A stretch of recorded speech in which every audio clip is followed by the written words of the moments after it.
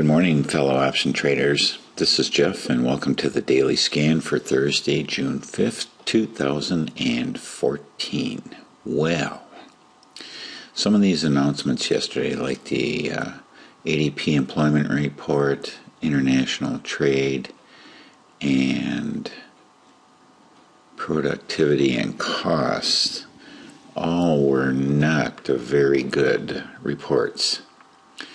Uh, the surprise was the ADP employment report, which is probably just as accurate, if not more accurate, than the government's report, because the government uh, only counts things, only counts, uh, only does a count the, the data that it uses. It's very picky on it and it makes it look a little more rosy than what it really is. There's such a thing as underemployment, and then there's people that aren't looking for work, which they don't count as unemployed. Well, if you're not looking for work, then you don't want to work, then apparently you're not unemployed.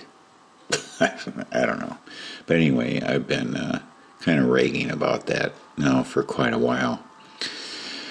And I guess for right now, at least, it is what it is. But there's other news out there, though, that uh, might be more credible. Okay, so but anyway, for today we have jobless claims at 8:30, and is that it for today? That's it for today that has stars out of a very starry week. There's a lot of red and gold stars for this week. And yet the market just kind of keeps chugging on.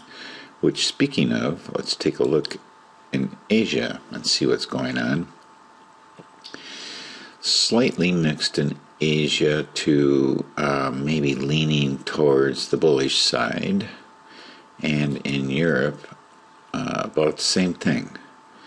Um, mostly bullish, a couple of reds there, but for the most part, they're up. Okay. Uh, let's see. Here in the U.S., flat at the open. I mean, you can't get much flatter than that. Gold is up only 20 cents overnight, and oil is down 40 cents to 102.23 overnight. And looking at the account, uh, we did enter Apple and F5 networks yesterday. Apple, the initial order that I put in in the morning, um, I tried to get a little bit better price than what was available at the time. It was uh, hanging around a dollar eighteen to a dollar twenty for the. Let's take a look at the analyze tab for the. Um, uh, let's put Apple up here. So initially, I was looking to do the short at six forty-two.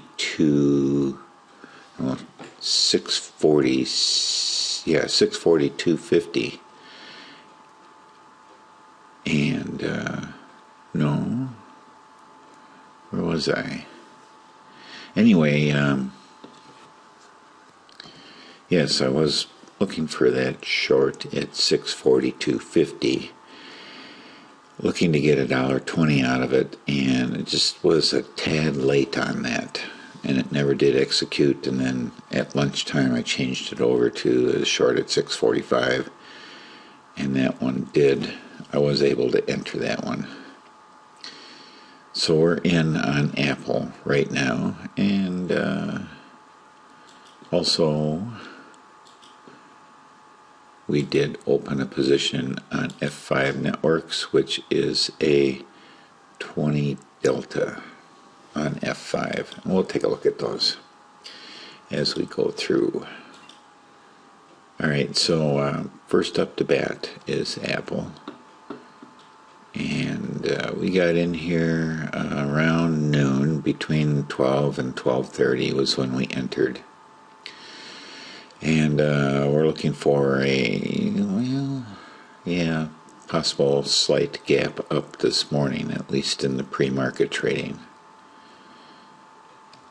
Okay, so we're in on that. Let's take that off of there. So we're about 50 50. Not exactly, but pretty close. Um, 488 for uh, profit and 512 for risk. So our risk reward is almost one to one. Amazon. We are in Amazon. Let's take a look at the chart with the 20 delta here. And expiration is next week. We have a hookup here on the stochastic, but the MACD is still down, so we're not panicky about this, and it looks like as though uh, we'll have a gap down this morning. Boeing, of course, uh, we exited this one early, and we're waiting for our next opportunity here. And well, let's just move this over there. Okay. Baidu.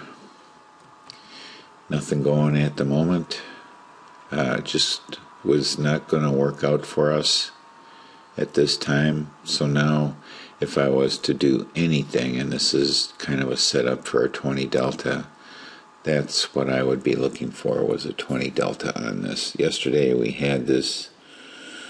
We didn't have this in there for anything yesterday, did we?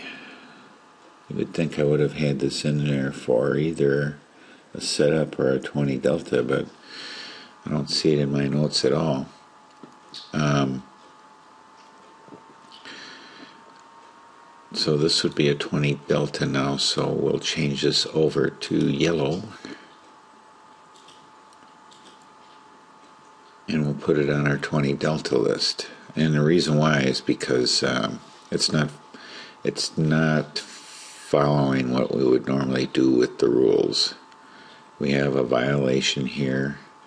Um, we don't have a solid red down and then our double green up on both the stochastic and the MACD, but yet we are still in a new uptrend and the price has pulled back.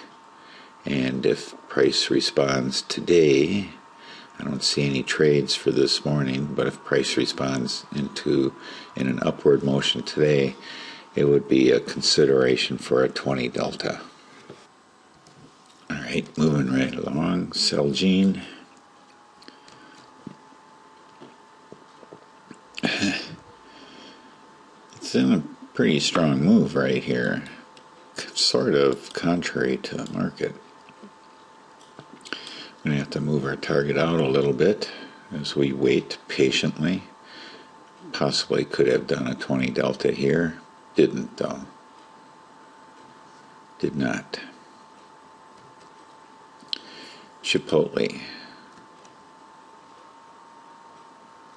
And Chipotle's in a pretty strong move too, not giving any sort of opportunity for an entry. And I don't want to chase it. So we're leaving that one alone for right now. There's other fish to fry. Right, we were looking for entry into an iron condor here on Costco. Possibly a 20 delta on both sides of this. Just because we have a lot of price consolidation here. Oh, very interesting. I think we're going to get a hook down this morning, which would give us an entry here on Costco.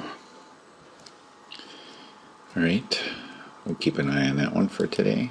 Chevron, we were in, we exited, and there's no other opportunities appearing right now. It's in a nice solid uptrend, but the EMA is pointing downward, which, by the way, I was. Uh, I don't have this EMA in my studies, my downloadable studies, so I'll be adding that. I was reminded of that by a reader.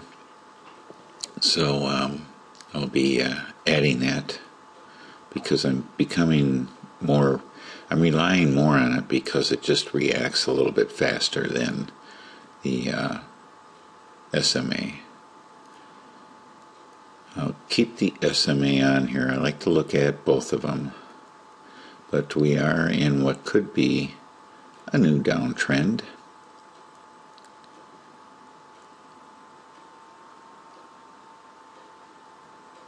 So, okay, that's enough of that. I was just trying to think of uh, something else to say about it. Really didn't have anything else to say about it. The Dow uh, struggling here at its top. Remember, we were talking about a double top here. So this is a struggle. Uh, not exactly sure what's going to be happening with that. Don't try to predict, just try to trade the momentum.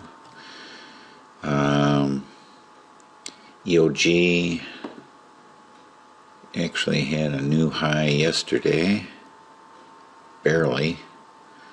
Um, we're still waiting for it to come down to our target. We have to slide that over, wait another couple of days for that. 20 delta trade right in here. Didn't catch that or didn't do it. Uh, okay, keep on moving here. FedEx. Uh, we are still in setup mode on FedEx. All right. F5 Networks, we did enter that trade. And I did not make a picture of it, really. Uh, our short is at 115. Oh, it's probably up here. Oh, yeah. I did make a picture. It's way up there. Picked a normal expiration because we don't have multiple weeklies on F5. So I had to pick the normal expiration. And then there's gold. All right, so gold we may be you know, this would this might be a good one to go uh, with a 20 delta on. I don't think it's too late to do that, but we are we're still in a downtrend. I think I'll hold off on that.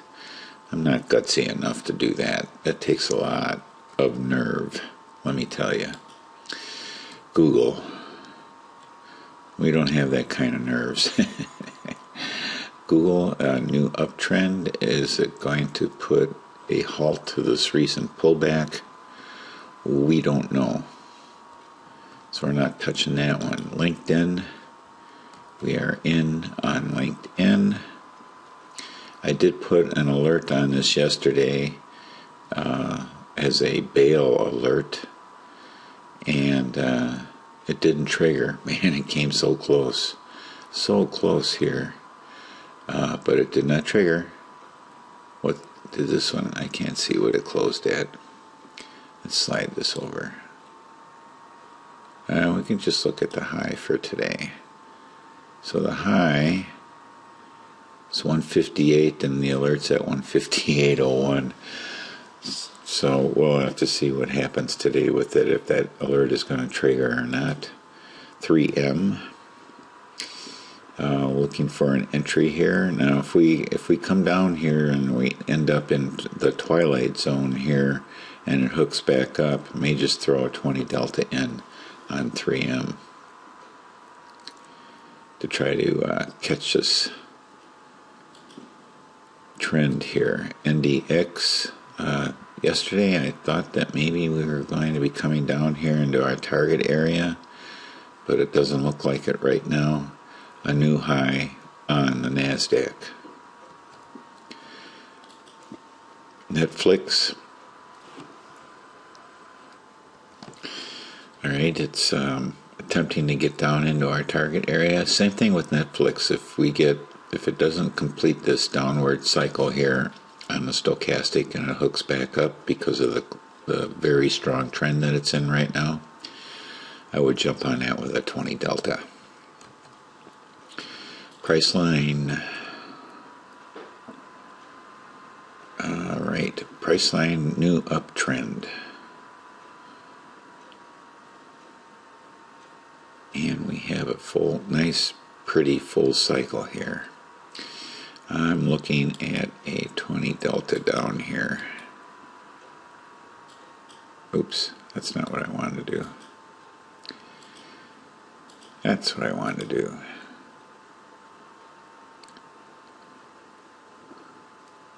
I might do both. We'll have to see how it works out today. This is pretty, that's a pretty strong down move.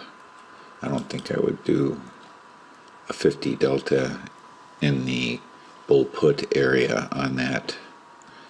Not that confident. Okay, so Russell gave us a nice little hook right here. New uptrend. I'll put this on a 20 delta list for today.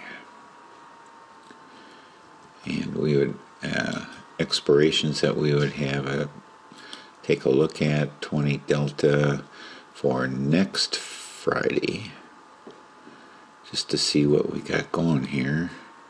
There's a 19 delta.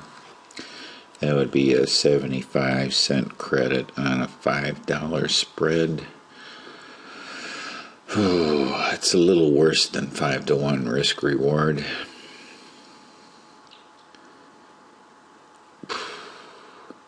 It's more like almost six and a half to one, which isn't too bad.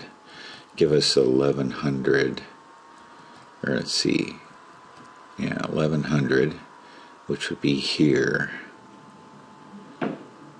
Probably would not be all that bad of a trade. So I'll put that on our 20 delta list for today. Okay, SPX.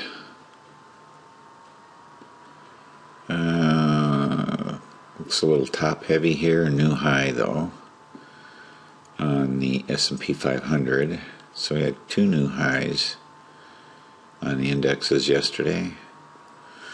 Um, and that being Nasdaq and the S&P 500.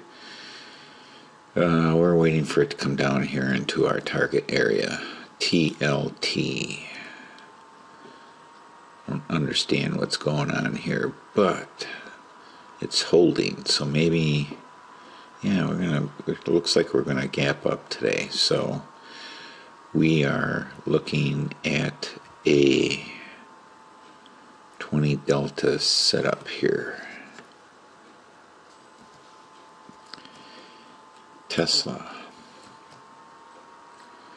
wanted to get in on this yesterday and it just was not cooperating. We didn't get the confirmation uh, based on the EMA I would have possibly gotten in with a 20 delta here. But in reality, following our rules, we're really looking for a bear call. This would be a bull put down here, a 20 delta down here, and a 50 delta up here. But uh, not sure exactly what, what it's trying to tell me. And if I'm not clear on that, then I'm not interested. Okay, we have Visa here uh, in a new uptrend according to the EMA. This was a mistake here, and if I would have been put more weight on what the EMA was telling me, I would not have had this particular loser here. So maybe I should rely more on the EMA, and if I was to do that, what I'm seeing here is a 20 delta. just because we have conflicts between the moving averages. So let's change that to a 20 delta.